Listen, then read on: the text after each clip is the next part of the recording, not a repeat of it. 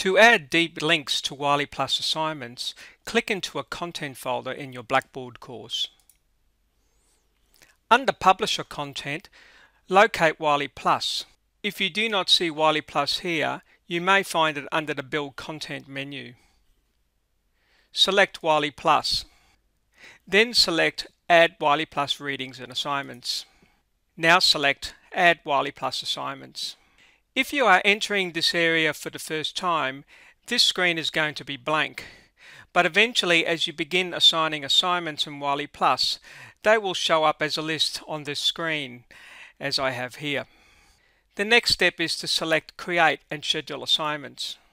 You will now be taken to the Assignment tab in Wiley Plus. For now, I'm going to select one of the existing pre-created assignments. Going to select Assign Original and determine some of the availability policies for the class section.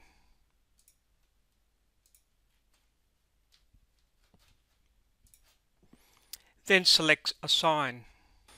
Right now the assignment is live on the Wiley Plus side. To complete the deep linking so that students can see this in Blackboard, I need to complete two steps. First, select the Return to Blackboard button at the top of the screen to push the assignment to Blackboard. Then select the assignment in Blackboard so that the deep link is deployed.